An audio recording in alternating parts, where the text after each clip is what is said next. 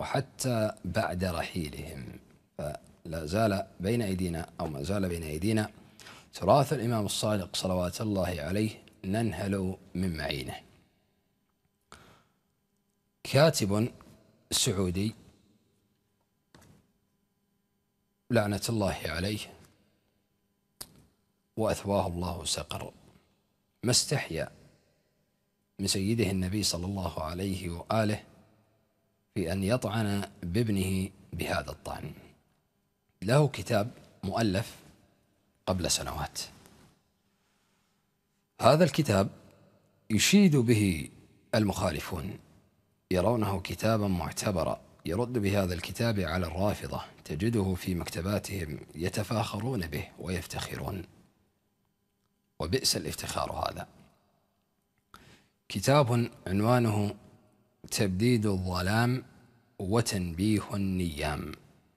ظلام يريده أن يبدد هذا الظلام عبر تسليط الضوء. وتنبيه النيام وكأن المسلمون نائمون فهو يريد أن ينبههم بأن جعفر الصادق هذا ليس صادقا وحاشا لسيدنا وإمامنا جعفر بن محمد الصادق صلوات الله عليه. يقول بأنه ليس جعفر الصادق إنما جعفر وحاشا لابن رسول الله صلى الله عليه جعفر الكاذب. ثم تأتون أنتم يا معاشر المخالفين تزعمون أنكم تحبون أهل البيت عليهم السلام وجعفرنا وجعفركم وهذا جعفركم وهذا جعفرنا. جعفرنا هو الذي يمثل الإسلام. جعفرنا هو ابن النبي صلى الله عليه وآله. جعفرنا هو الذي يمثل أخلاق النبوة. جعفرنا هو معين الإسلام. جعفرنا جعفر بن محمد الصادق. صلوات الله عليه وعلى أبيه وأجداده. جعفركم كذاب. جعفركم خارجي. جعفركم ملحد. بتصريح هذا المؤلف ما رد أحد منكم عليه. وكأنكم وضعتم ختم الاستحسان وعلامة الجودة على ما قال. ألا قاتل الله الأفاكين؟ ألا قاتل الله الجاحدين؟ ألا قاتل الله الناصبة؟ كتابه تبديد الظلام وتنبيه النيام إلى خطر التشيع على المسلمين والإسلام. تأليف إبراهيم سليمان الجبهان قصف الله جبهته. طبع هذا الكتاب الصفحة الأولى. طبع هذا الكتاب بإذن من رئاسة إدارات البحوث العلمية والإفتاء والدعوة والإرشاد. هذا الكتاب طبع بإذن من قرأوا الكتاب اطلعوا عليه دخل إلى الرقابة ما رأوا به بأسه. وكأنهم ضعوا وضعوا علامة الأوكي كما يقال على كلامه. رئاسة إدارة البحوث العلمية والإفتاء والدعوة والإرشاد. 1400 هجرية قبل 36 سنة. الطبعة التي بين أيدينا هي الطبعة الثالثة التي طبعت في عام 1408 ثمان سنوات بعد أن أعطوا ذلك الإذن في طباعة الكتاب. الإهداء يهدي الكتاب. لمن؟ إلى روح من أنقذ الله به البشرية. وأيده بالمعجزات وأخرجنا به من الظلمات إلى النور سيد الأنبياء وإمام الأتقياء. يهدي هذا العمل إلى رسول الله صلى الله عليه وسلم رسول الله عنده من؟ الذي شوهت صورته عائشة. رسول الله ذلك الذي يسحر رسول الله صلى الله عليه وآله ذلك الذي أراد أن ينتحر رسول الله الذي امتدح الأصنام تلك الغرانيق العلا وإن شفاعتهن لترتجى. هذا رسول الله عنده. أما عندنا؟ لا. يختلف. طيب. شاهد هنا أو ذكر بسيط أورده. الشيعي إذا قرأ الفاتحة وأهداها إلى النبي الأكرم صلوات الله عليه وآله أو إلى أحد الأئمة صلوات الله عليهم أو إلى أم البنين صلوات الله عليها يجد المخالفون أو يجد المخالفين يعترضون عليه. كيف تعمل هذا العمل؟ تقرأ الفاتحة وتهدي ذلك الثواب أو أن تذبح ذبيحة مثلا وتهدي ثوابها إلى أبي الفضل العباس عليه السلام أو إلى أحد الأئمة المعصومين عليه السلام. هذا شرك ولا يجوز و إلى آخره من هذه النغمة التي سئمناها. طيب وهذا الآن؟ الجبهان الأحمق الأرعن الجاحد الناصب يهدي هذا العمل إلى رسول الله صلى الله عليه وسلم. قراءة القرآن. أنت الآن حينما تقرأ قراءة حينما تقرأ سورة الفاتحة تثاب؟ تثاب. هل هنالك حرج في إهداء ذلك الثواب إلى ذلك الإمام أو إلى ذلك الولي أو إلى النبي صلى الله عليه وآله أو إلى أي أحد من أهل البيت عليهم السلام أو إلى أحد الصالحين؟ لا إشكال في هذا. لكن إذا فعل الشيعي هذا الفعل لم تقوم الدنيا ولا تقعد؟ وإذا فعلها أحد المخالفين وكأن شيئا لم يكن. هذا يهدي عمله إلى رسول الله صلى الله عليه وآله. وفي عمله من الباطل والإساءة إلى أئمة أهل البيت عليهم السلام ما فيه. فكيف إذا قرأت أنا سورة الفاتحة أو أن ذبحت ذبيحة قربة إلى الله تبارك وتعالى وأهدي ثواب إطعامها إلى أحد الأئمة عليهم السلام؟ ما الضير في ذلك؟ ما الإشكال في ذلك؟ ما الحرج في ذلك؟ بعدين هذا الأرعن يهدي هذا العمل إلى رسول الله صلى الله عليه وآله ويطعن بسبطه الإمام الصادق صلوات الله عليه إلى روح من أنقذ الله به البشرية وأيده بالمعجزات وأخرجنا من الظلمات إلى النور سيد الأنبياء وإمام الأتقياء وإلى أرواح أهل بيته الطاهرين المطهرين الإمام الصادق صلوات الله عليه من أهل البيت لما شنعت عليه. لما تجرأت عليه في عالم البرزخ أنت الآن يشتد عليك العذاب. ونأتي بقولك هنا حتى يلعنك المشاهدون ويزداد عذابك عذابه.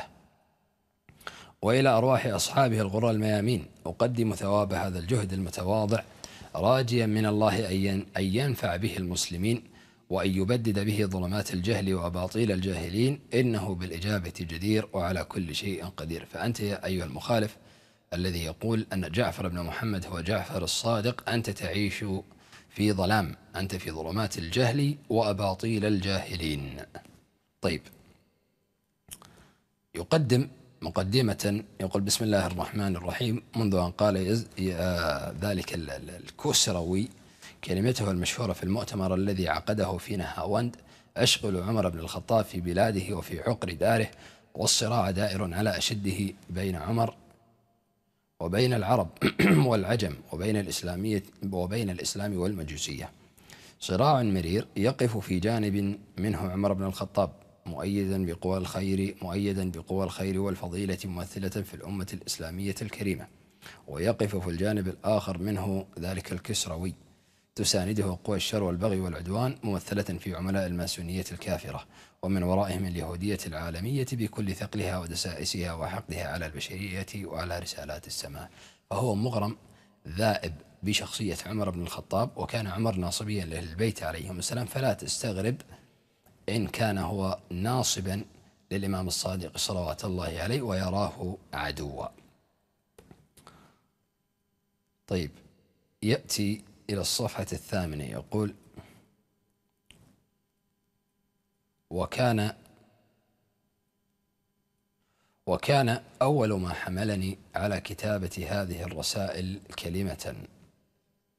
وكان أول ما حملني على كتابة هذه الرسائل كلمة ألقاها سماحة الشيخ محمود شلتوت شيخ الجامع الأزهر من محطة صوت العرب. قال في مستهلها إن المذاهب الإسلامية الخمسة واحدة جوهرة أو واحدة واحدة. إن المذاهب الإسلامية الخمسة واحدة جوهرة واحدة مصدرة واحدة موردة وأنه يجوز التعبد بالفقه الشيعي إلى آخر ما جادت به قريحته المشلولة. وكانت هذه الكلمة بمثابة ناقوس الخطر. فقد نبهتني إلى أن وراء الأكمة ما وراءها. ومن ثم قررت أن أنسج أكفاني. يريد أن يصور نفسه هنا بذلك الدور البطولي الذي من الممكن أن يقتل في أي في أي لحظة أو في أي لحظة. فقررت أن أنسج أكفاني وأن أواجه الواقع بكل جرأة وصراحة. ولن يضيرني بعد ذلك أن أجد نفسي وحيدا في الميدان. فأنا على يقين بأن الله سبحانه وتعالى لن يخلف وعده للعاملين في سبيله. على فكرة أن من إحدى أسباب ازدياد وتيرة الغضب على الشيعة ومحاربتهم من قبل السلفية في العصور المتأخرة هو هذا الكتاب. وإذا قدر لي أن أموت فإنني لن أموت إلا بعد أن أحفر بيدي قبور الظلم والظالمين. أضقع زين لك حشا من يسمع. بقيت هناك أمورا أو بقيت هناك أمور لا بد أن تخطر على بال القارئ. عند قراءة هذه الرسائل ولا بد أنه في حاجة إلى إزالة الالتباس عنها. وهي أولا قول بعضهم يأتي أولا ثانيا ثالثا حتى يصل أو حتى يصل إلى رابعة. لقد لاحظ ودقق. لقد قرنت اسم جعفر بن محمد. جعفر بن محمد الصادق صلوات الله عليه. لقد قرنت اسم جعفر بن محمد بعلامة استفهام في غير موضع في أكثر من موضع. وضعت علامة استفهام ملحوقة أو يعني يسبقها اسم جعفر بن محمد. لقد قرنت اسم جعفر بن محمد بعلامة استفهام في غير موضع تصحيحا للخطأ الشائع الذي وقع فيه كثير من أرباب التصانيف بإلصاقهم كلمة الصادق باسم المذكور. من هو المذكور؟ جعفر بن محمد الصادق الذي أذل أبا حنيفة. سنأتي عليها. جعفر بن محمد الصادق إمام المسلمين الإمام السادس من أئمة المسلمين عليهم عليهم السلام على الأئمة الطاهرين عليهم السلام. لقد قرنت اسم جعفر بن محمد بعلامة استفهام في غير موضع تصحيحا للخطأ الشائع الذي وقع فيه كثير من أرباب التصانيف بإلصاقهم كلمة الصادق باسم المذكور. يستنكف أن يذكر اسم الإمام الصادق. وجعلها لقبا له وعلما عليه. والواقع أن هذه التسمية أو بالأصح هذه التزكية. ما كان ينبغي أن تطلق على شخص حامت حوله الشبهات وكثرت فيه الأقاويل ونسبت إليه أقوال مشحونة بالزندقة والإلحاد. جعفر بن محمد الصادق زنديق عنده وعند أصحابه. ملحد عنده وعند أصحابه. وما يضر السحاب نباح الكلاب؟ يا كلب انبح كما تشاء. لن يضر جعفر بن محمد الصادق. تجتمع أنت وهو في البرزخ لترى من الصادق من المؤمن من الولي الصالح ومن الكافر الزنديق الناصب الملحد. عليك وعلى أصحابك وأتباعك ومن مال إلى قولك ومن رضي به ومن أذن بنشره ومن اعتمد عليه ومن أعاد طباعة هذا الكتاب لعنة الله والملائكة والأنبياء والشهداء والصديقين والمرسلين والمؤمنين لعائن الله. لعائن تترى لا نهاية لها.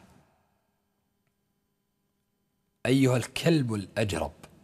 أجل الله السامعين عن هذا الوصف وعن ذكره وعن إيراد قوله. ولكن لابد ليتوعى المسلم الذي يزعم أنه يحب جعفر بن محمد الصادق. هذا الكتاب أحد مشايخ السلفية يؤلف هذا الكتاب ويؤذن يأذن بنشره رئاسة إدارة أو إدارات البحوث العلمية والإفتاء والدعوة والإرشاد فيما تسمى بالمملكة العربية السعودية. والواقع أن هذه التسمية أو بالأصح هذه التزكية ما كان ينبغي أن تطلق على شخص حامت حوله الشبهات. هو مؤسس المذهب الرافضي عندهم. مقوم مشيد أركان الاعتقاد الرافضي حامت حوله الشبهات. يسب أبا بكر وعمر. يطعن بهما. يلعنهما. وكثرت فيه الأقاويل. أو أنه ينسب الزنا إلى عائشة والله ما عنا بها إلا الفاحشة. إما عن الصادق صلوات الله عليه أو الباقر. يرويه علي بن إبراهيم القمي في تفسيره ويقسم بالله تعالى. حامت حوله الشبهات وكثرت فيه الأقاويل. كان يعارض السلطان.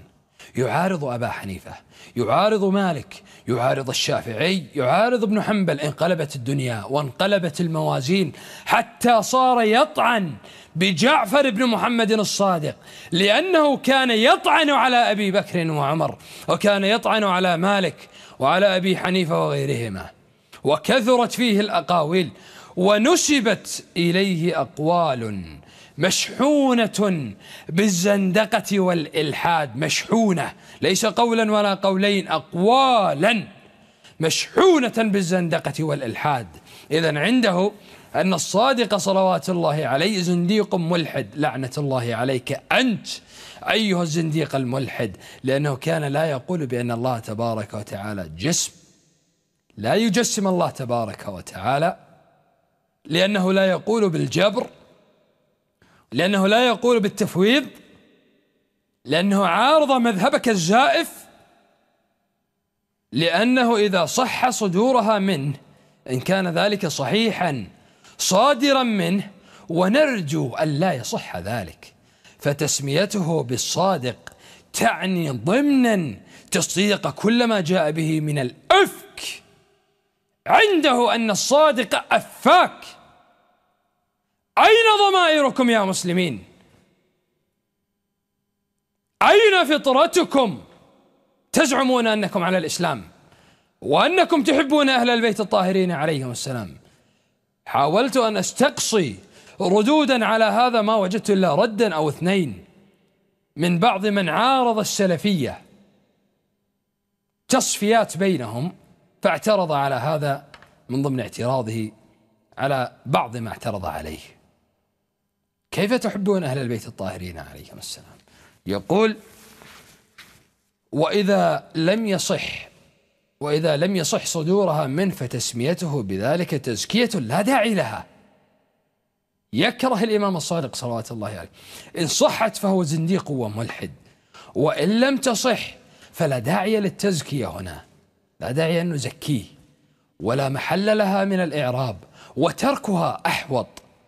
زد على ذلك أنني لم أكن أول من شكك في سلوكه فقد كنت مسبوقا إلى ذلك ممن عاصروه كيحيى بن سعيد هو, هو لا يذكره لكن أنا أذكره ونأتي على قوله. فقد كنت مسبوقا. فقد كنت مسبوقا إلى ذلك ممن عاصروه وشاهدوا بذخه وترفه وقبوله العطايا من شيعته وهي محرمة وهي محرمة عليه. أغبر جاهل وغيد تعلم من أنت؟ جعفر بن محمد الصادق من أنت؟ من أبوك؟ من جدك؟ ما دينك؟ ما علمك؟ تعلم جعفر بن محمد الصادق محرمة عليه؟ أنت الذي تشرع أنت الذي تحلل وتحرم؟ دينك دين أبوك. جعفر بن محمد الصادق صلوات الله عليه أستاذ الأساتذة إمام الأئمة. ورث العلم عن أبيه عن جده عن جده عن جده عن رسول الله صلى الله عليه وآله. قوله قول النبي صلى الله عليه وآله وقول النبي قول الله تبارك وتعالى من أنت. رويبضة صار يعلم الناس. يقول زد على ذلك أنني لم أكن لم أكن أول من شك في سلوكه فقد كنت مسبوقا إلى ذلك ممن عاصروه وشاهدوا بذخة أحمق كافر. لا تعترض على عمر بن عبد العزيز الذي كان مترفا وكان بذاخا. تعترض على جعفر بن محمد الصادق وقد رد على هذا الذهبي سنأتي عليه في سير إعلام النبلاء. يقول وشاهدوا بذخه وترفه وقبوله العطايا من شيعته وهي محرمة عليه لأنه لم يكن ممن يستحقونها شرعا حتى قيل أنه اشترى دارا في البصرة بمبلغ ثلاثين ألف دينارا عدا ما كان ينفقه على الدعاة والمبشرين. كان مشيد الدين الرافضي لذلك نقم عليه. أما غيره من علماء المخالفين يستخدمون التقية جبناء. لا يصرحون. لا يستطيع أن يطعن بجعفر بن محمد الصادق لأنه ركن من أركان الإسلام. إذا ما طعن به سقط هو اعتباره.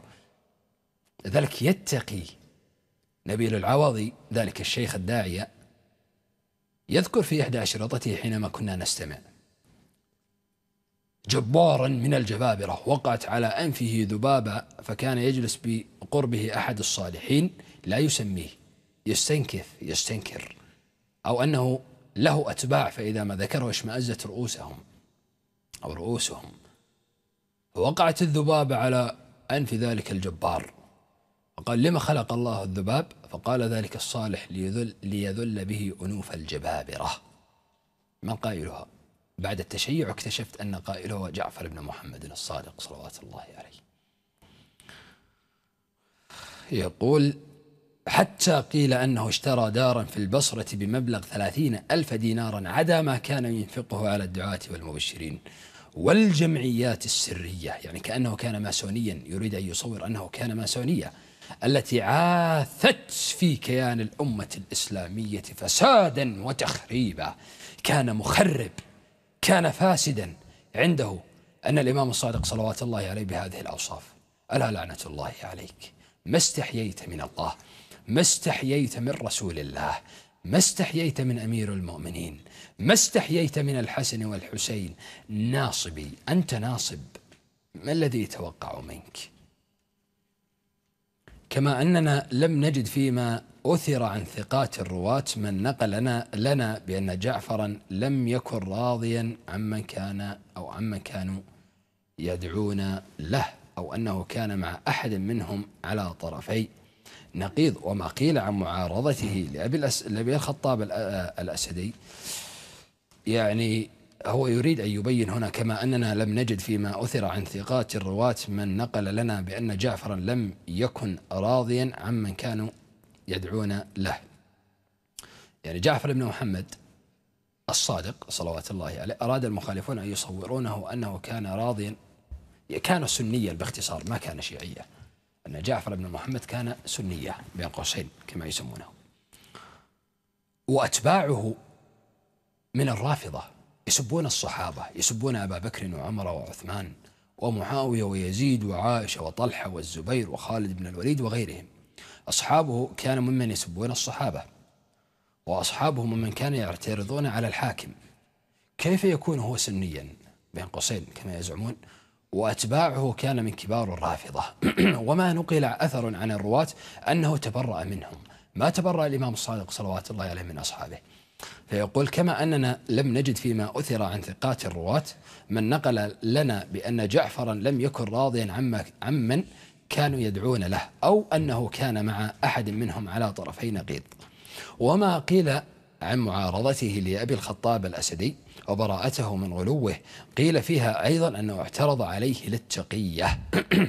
أما الخرافة التي تقول بأن المنصور قد استقدمه ووجه إليه اتهاما بأخذ الخراج من شيعته فإنها إن صحت فإنما تؤيد رأينا في المذكور. إذ كيف يجوز ممن يعتبر نفسه حاميا للإسلام وغيورا عليه أن يأمر شخصا ما بأن يبرئ أو يبرأ من حول الله وقوته وهل يجرؤ على قول تلك الكلمة أو إملائها أو سماعها إلا جاهل بالإسلام أو متحاملا عليه؟ زد على ذلك أن النبي صلى الله عليه وسلم قال من كان حالفا فليحلف بالله أو ليسكت. وقال أيضا من حلف فقال إني بريء من الإسلام فإن كان كاذبا فهو كما قال وإن كان صادقا لم يرجع إلى الإسلام سالما. فإذا كان هذا حال فإذا كان فإذا كان فإذا كان هذا حال من حلف بالبراءة من الإسلام فما حال من حلف بالبراءة من حول الله وقوته؟ وما حكم من أملى هذا اليمين ورضى أو رضي بسماعها؟ ولمزيد من الحقائق تراجع ترجمة المذكور في ميزان الاعتدال. عرفت سبب طعنه. وعرفت كيف أنه يطعن بالإمام الصادق صلوات الله يعني تريد أن تعرف من مزيد من الحقائق. ارجع إلى ميزان الاعتدال للذهبي.